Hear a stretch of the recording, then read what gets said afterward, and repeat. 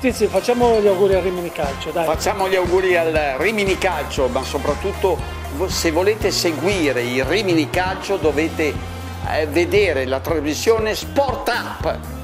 Ciao Rimini Calcio, in bocca al lupo. E allora, e andiamo ragazzi. Il calcio di tutti lo è anche in un giorno in cui si registrano le vittime a Corinaldo, rispettato un minuto di silenzio prima del via. A qua rimanda in campo dal primo minuto Nava al posto di Scott e già questa è una notizia, il tecnico la giustificherà così, nonostante sia un match molto delicato visto la situazione di classifica per ambedue le formazioni. Beh, anche per alternarli, il Nava non l'avevo mai visto, in cinque mesi, sei mesi Nava non ha fatto mai un minuto eh, in una partita ufficiale, ero curioso di vederlo, anche tra i portieri. Adesso eh, prima c'era il fatto che tra i, portieri, i portieri non si potevano toccare, se no il portiere ha un ruolo particolare. Il portiere ha un ruolo come un altro che ci può stare, come fanno anche squadre molto più importanti di noi, ci può stare anche un po' di turnover tra i portieri pronti e via, il Rimini già al terzo va in gol. Volpe apre per Simoncelli che indovina l'angolo laddove l'anno scorso in Coppa Italia contro la San Maurizio centrò la prima rete con i colori biancorossi. Il replay ci mostra la bravura dell'esterno in maglia numero 7 nel seguire l'azione capitanata da Volpe.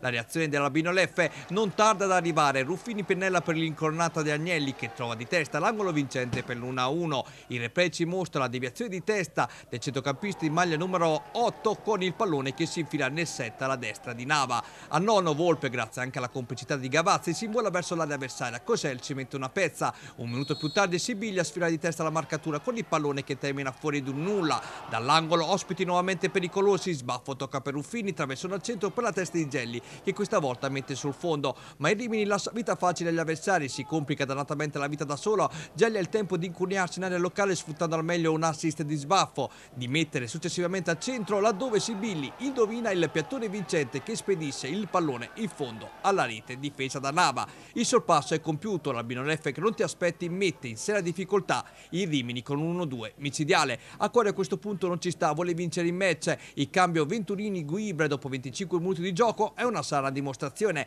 Agnello invece si traveste da lupo, prova lui a mettere paura a Nava che è costretto a distendersi onde evitare il tris. A 45esimo Candido, finora non pervenuto, scalda i guantoni a Cosser che è costretto a rifugiarsi in corner. Rimini che è tra i fischi del pubblico di casa, ma nella ripresa la musica cambia. Ferrani sfiora di testa la marcatura, Corser respinge come può sotto misura, mentre al 49esimo Guibre scambia con Volpe, l'attaccante segue protezione della sfera e passaggio di ritorno per il compagno che indovina l'angolo alla sinistra di Corser per il 2-2 momentaneo facendo esplodere i neri.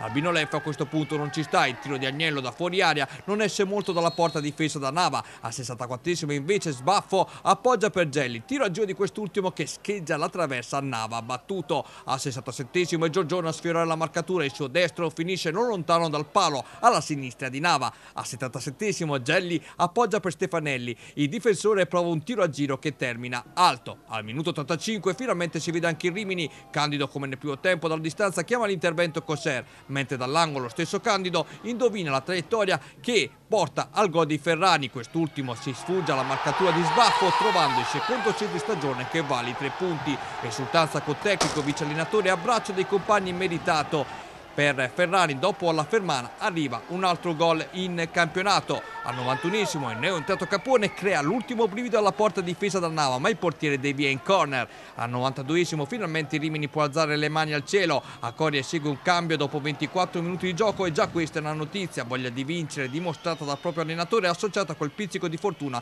che non guasta mai anche se la Binoleffe penultima in classifica a Rimini fa la partita e rischia di fare lo sgambetto a un avversario che ha capito che laddove non non arrivano i mezzi tecnici, arriva quel pizzico di fortuna che a volte serve per vincere le partite.